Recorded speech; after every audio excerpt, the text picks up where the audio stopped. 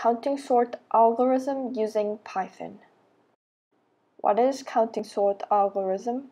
Counting sort algorithm is an algorithm that can be used to sort numbers. It can be used instead of sort or sorted method, which is a hybrid sorting algorithm called introsort. Time differences between introsort and counting sort. For introsort to sort out the list above, it took 0.0025 seconds. However, for counting sort to sort the same list, it took 0.0032 seconds.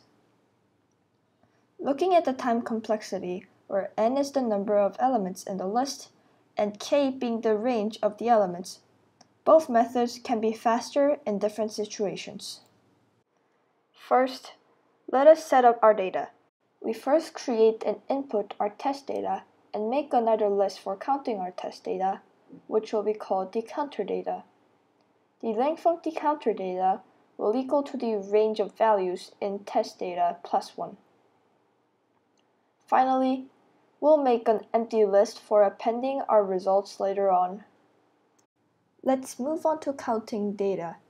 Each value inside our test data will be turned into an index of counter data using a for loop.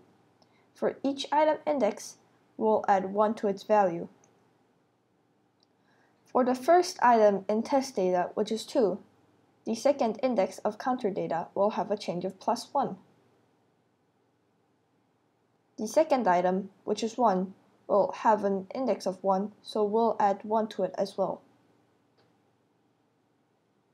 Continue this cycle to have our counter data complete.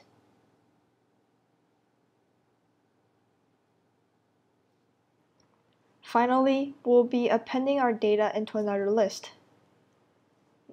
First, append items using for loops and conditionals. For each item from the counter data, if they are not zero, meaning that the count of the number is not zero, therefore existent in the list, the index of the item will be appended into the sorted list according to the counted value. For index 0, there is a count of 1, so we will append 1 0 into the sorted data.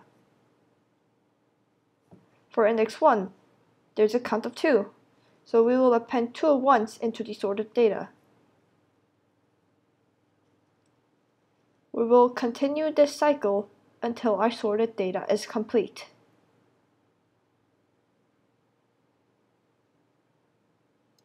Here is our final code.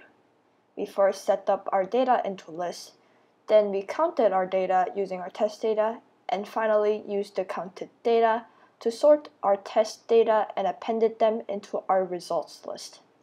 Thank you for watching my tutorial on counting sort algorithms.